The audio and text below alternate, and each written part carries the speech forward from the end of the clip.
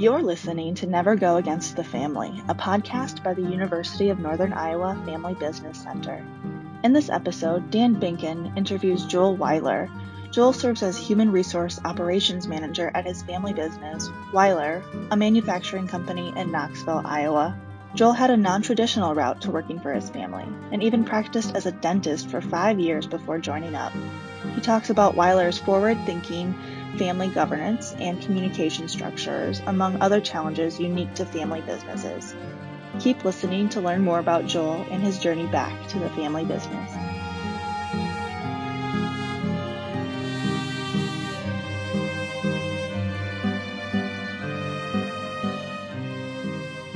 Hey, everybody, welcome to another edition of Never Go Against the Family. I'm Dan Binkin, and I'm joined today by Dr. Joel Weiler, former practicing dentist in the uh, central Iowa area, who now is with his family company as a second gen leader. Is that right? Correct. Yep. Yeah. Okay. And uh, Dr. Weiler, it's just uh, pretty crazy to say Dr. Weiler and you're working for your family business, which is not a dental practice. So, if you could, uh, our audience would love to hear a little bit about how you made that change, why you made that change, um, and and just how how you maybe started the path that you started on to begin with. Maybe we could start there. So I assume you took all the science classes you could in high school, and then uh, probably ended up at the U of I. But that's a guess. Can you kind of take it from there? Yeah. So um, first off, it's been a while since anyone's called me doctor. So thanks for that. I kind of forgot what that sounded like, but uh, but yeah, I think I was probably the last one to know that this was going to happen. Um, kind of people looking uh, from the outside in, it seemed to make more sense to than me, and I just kind of had blinders on and was chasing what was in front of me. But um, I guess my starting at the beginning, my parents uh, started Weiler, which is a manufacturing company. Um, we do make asphalt paving equipment and, and forestry equipment um, down here in Knoxville, Iowa. And, you know, I was 13 when they, uh, when they started the company. Um, pretty much every summer growing up and, and through uh, most of undergrad, spending my, uh, my summers here working, doing every, every odd job under the sun. Um, I think the, the tactic was to spend nine months of the year coming up with a list of stuff that no one else wanted to do, and then they across the table to me at the beginning of the summer. So leave that for the kids, huh? Yeah. Yeah, and wouldn't trade it for anything. I mean, it was great, great experiences, and um, you know, stuff that I still lean on today. Just having some background in, in manufacturing, but uh, but yeah, so you know, we were a small company when we started, and um, you know, had four employees in 2000 and have um, you know 530 in Knoxville now. So you know going back to middle school and high school, math was the one subject that I just did not care for at all. Didn't didn't uh, didn't come naturally to me. And my dad was an engineer by trade, and so I kind of thought if I wanted to be in the family business, I was going to need to be an engineer, and and that seemed like there was a lot of math involved. So. yeah. uh, and my parents were great with all three of us kids, um, encouraging us to do, you know, whatever we were passionate about. Um, and really, if anything, about, I would say they went further towards talking us out of joining the family business and kind of highlighted the the negatives about that. Sure.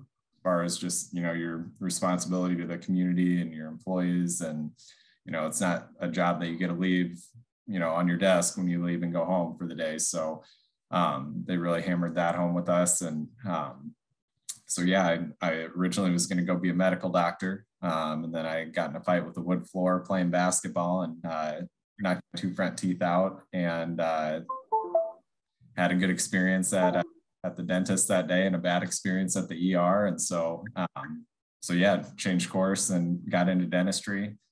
Um, and really just kind of was full speed ahead on that. Um, didn't really think a whole lot about joining the family business at any point. I mean, it was discussed in our in our family board meetings as we got that going, but you know, I, I just kind of made it clear to the family that um, you know I didn't think the business needed me, and I you know liked the the path that I was heading down. So, yeah.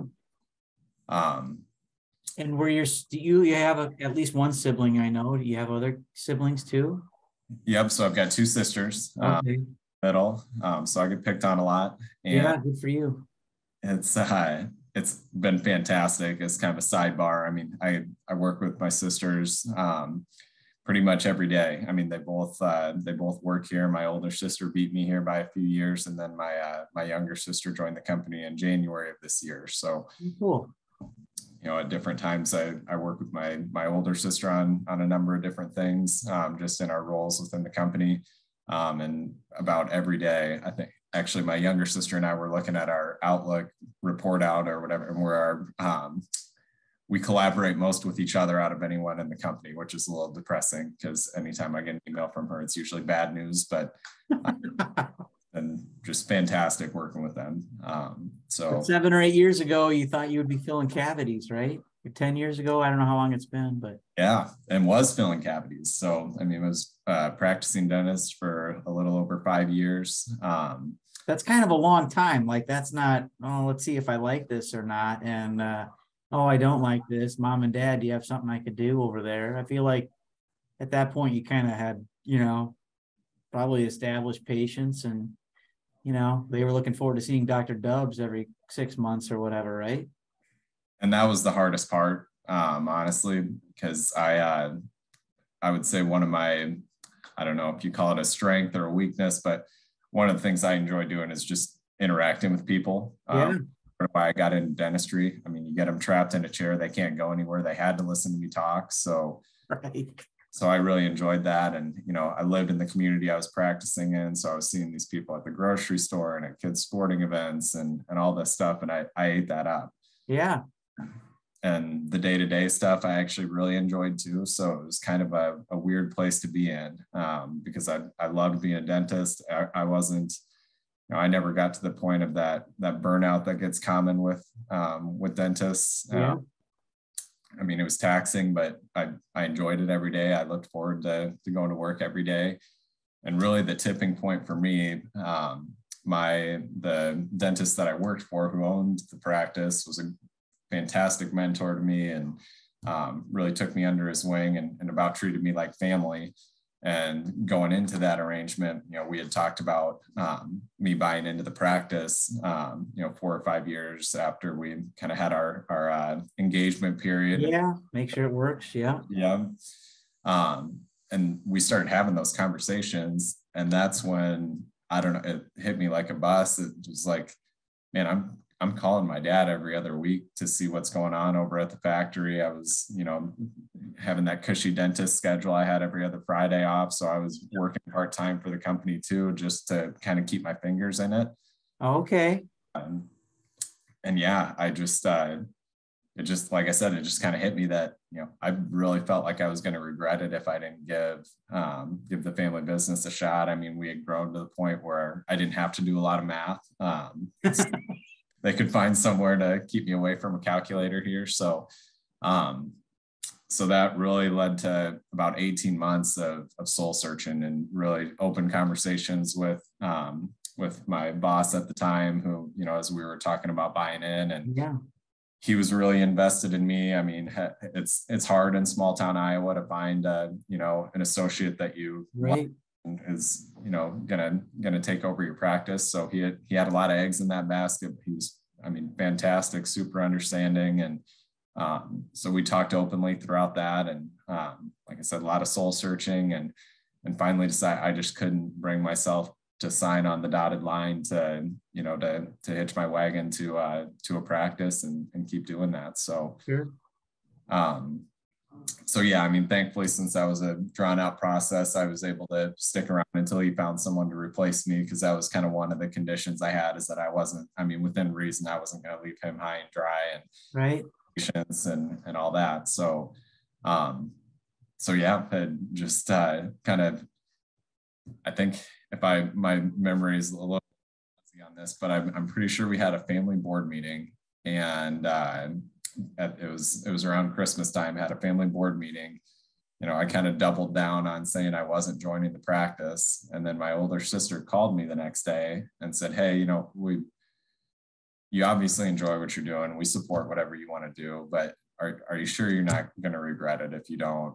Um, you know, if you don't come give this a try at some point. And I was like, gosh, dang it. like I said, I, I was the last one to know, I feel like. So, um, and that's really what got me started down that path. And um, yeah, I mean, it took a lot of, uh, not, not encouragement. I don't know what word I'm looking for, but a lot of conversations with my parents.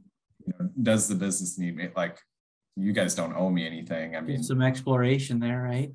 yeah so is i mean are you guys making a seat for me or is this something where i i can really add value and then you know with a lot of back and forth on that this you know you could figure out how to drill you know 0.1 millimeters out of a tooth and you know make that look good and so we're, we're pretty confident you can figure something out here so so you mentioned that you were kind of working a little bit part-time for the business as you were in practice so how did that come about? What kinds of things were you doing to kind of keep your, as I think you said, kind of keep your thumb on things or keep your eye involved? How, what was that like? What were you doing and, and how did that come about that you even had that opportunity? Um, so if I remember right, there was a, um, for a few months, I was helping out on the payroll side, which is ironic since, uh, you know, we talked about math. Math. Yeah. Um, not being the deal for me, but um, we had someone out on maternity leave and you know rather than hire some temp help or something i, help, I helped out with uh, okay um, timesheets for a while and then took on whatever random projects came up whether it was you know looking at capital expenditures or um, different things we had coming up so sure um, okay enough to keep uh, keep someone involved in the business, you know, keep learning the new faces that were coming on. Because I used to be able to walk through and I could tell you everyone's name in the plant and in the office. And, um, you know, as we had grown, I had lost some of that. And um, so, yeah, it was just kind of Fridays and weekends, um, mostly, mostly working from home, just on different projects and things, but I'd come in and wander around a little bit too. So, um, so yeah, it was a unique opportunity that way to where it was like, you know, whatever time you can put towards it is fine. And you're obviously growing as a company that whole time. So there's probably things you're seeing, you know, changing as you're coming in one Saturday and then a few, you know, a month later or whatever, a few months later, I'm guessing. I mean, that's that's prideful, right? As a family member and that certainly played into it you know it's it was just intoxicating the you know the growth that we were going through i mean borderline catastrophic growth at that at that point um and just yeah. there was there was a year we hired over 100 people and just um you know just seeing that stuff escalate and we kept adding on to the building and it's man wow. really fun and and fun to be a part of so you mentioned uh, another thing too here doc you mentioned uh um, some family meetings that you guys had. I um, I didn't anticipate asking you this, but since you brought it up, I think that's really cool that you were doing that. That must have helped you also stay and your siblings stay not only together, but and and knowing and hearing everything firsthand about what's going on, but also, well, just knowing, I guess, and having some knowledge. It wasn't like you were just coming over strictly to have you know, a couple beverages and and watch a game with your dad or something like that. But you guys were having, I'm assuming, some sort of a informal, formal type of family meeting on a regular basis to kind of. Can you kind of talk through that a little bit and how that I would yeah so I mean, governance played a role in in things credit to my parents on that i mean they were very forward looking on that um, i can't mm-hmm. remember when exactly we started um, our our board of directors, which you know not necessarily best practice, but it's it's just us family members on the board. Sure. Um, so we started having those quarterly meetings, and you know, Pat really looked all three of us kids in the eye and said, "Hey, you know, you guys are all off doing your own thing, which is awesome. You seem to be enjoying what you're doing. But I mean, my older sister was a corporate attorney for State Farm, and my younger sister was a civil engineering professor at Iowa State. So we were kind of off on these non Holy smokes. You guys weren't just Subway uh, sandwich artists, were you? Okay. Yeah, we we got lucky, I guess. But um, that's cool. So you had very good careers. Yeah, and I mean, of anyone, at least my sister had some law experience that she could uh, she could bring to the table, and I guess you know my younger sister Caitlin having some engineering background, I was kind of the odd duck that you know not a ton of crossover from uh, from dentistry to manufacturing not your typical career path, but sure, you can uh, some cavities on lunch breaks. That's well, there's a lot of people have been at, are still asking for that a little bit. They think that'd be a great uh, employee could just uh, set up a chair and you know maybe on Fridays do some and knock a couple out, right? Yeah, yeah but uh, uh, but yeah, my my dad kind of looked us all in the eyes and said, "Hey, you know, none of you are involved, and that's fine. But you know, if this if this is going to stop being a family business when I retire, like that's I'm going to manage this differently than you know if if I'm building for the future. You know, if I'm building this place to you know eventually sell it or be or eventually have someone else outside the family run it I, i'm looking through a different lens than yeah. if you guys want to be actively involved in it. So um, that was probably a you know a good one to two year discuss, ongoing discussion of you know us us selling him that that we did want it to stay in the family was the first thing that we decided. And then you know over time we all all decided that we wanted to be a part of the day-to-day operations that's pretty cool. And I'm sure some of that came from being a close family in general already, right? And and and recognizing the opportunity and the ability to be even closer through the business, I'm sure, right? Or we're we're stupid lucky. I mean, it's I've I've seen and read and and you know, like I said, seen firsthand how um, some dysfunctional family dynamics can can get in the way of of one your family and the and the business. Yeah, we're just insanely blessed that we all get along outside of here. You know, we can we can put it on the shelf. Yeah, we talk. We're not great about not talking shop sometimes when we get together, but not to the point where our spouses complain too much about it. Okay. Uh, but yeah, we go on uh, on family trips together still. The um, you know my parents and my sisters and our spouses. So we, I mean, we choose to spend time together. Yeah, that's really cool. It's really healthy. Um, this is really cool. I just hearing your story here a little bit about um, you know, for other families who sent their kids off to do whatever. I think one message I'm hearing from this, and I've heard from others in your shoes too, is that sometimes mom and dad are so um, you know it doesn't have to be mom or dad but the generation prior is so wanting to be protective of of the next gen's freedoms and abilities to make their own choices career wise and otherwise life you know where they live etc that they often subdue the opportunities that exist within the business to a point where uh, that next gen doesn't think there are any opportunities or doesn't or or or doesn't feel like there's a spot to bring it up you know maybe and they're making assumptions on their end of well mom and dad don't want me around here or um, they've got other plans for this business or they you know whatever whatever a hundred different re- assumptions are they can't stand my wife and they don't want us to move back or whatever it might be right? Or they can't stand my husband. And so um, i think that's really great just to to hear from your perspective that one you know, one underlying takeaway I'm getting from this is just the openness of communication and the and the fact that that communication doesn't just take place one time as far as your dad saying, "Hey, do you guys want in or out?" You know, and it was like and it was like one little hour long conversation. It was over the course of time and it was, you know, probably I'm sure bringing in in your spouses and their opinions and you having conversations in your own households and and with your siblings and can we make this work and how long does that you know that that doesn't happen in a day or a weekend right? And it takes a little time but just knowing that you know each generation is kind of reaching toward the middle to have those kinds of conversations i feel like is so critical for you know for what you guys have done obviously. I mean there's there's always the potential that you could still be a practicing dentist right now right? That type of thing you know, I actually went all in. I uh, I let my license expire the first renewal period. Really? I, you all gas, no brakes. So, okay.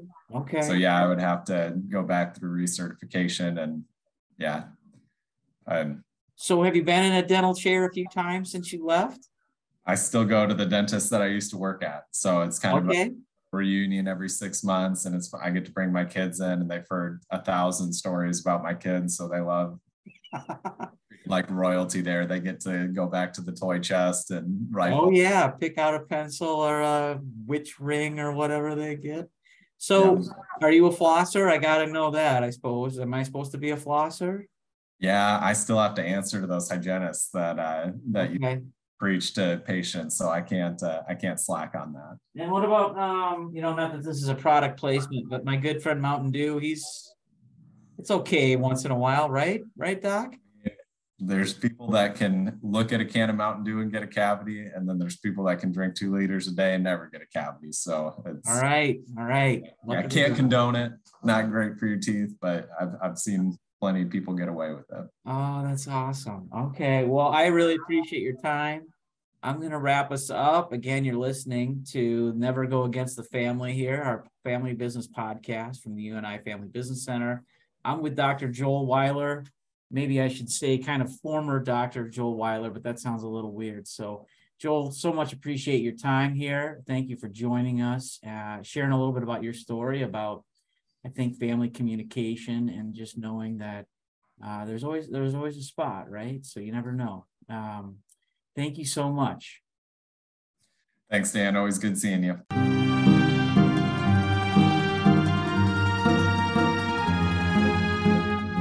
Thanks for listening to this episode of Never Go Against the Family, a podcast produced by the University of Northern Iowa Family Business Center. You can find more information about the center, membership, and upcoming events at unifamilybusinesscenter.com. As Vito Corleone advises, never go against the family.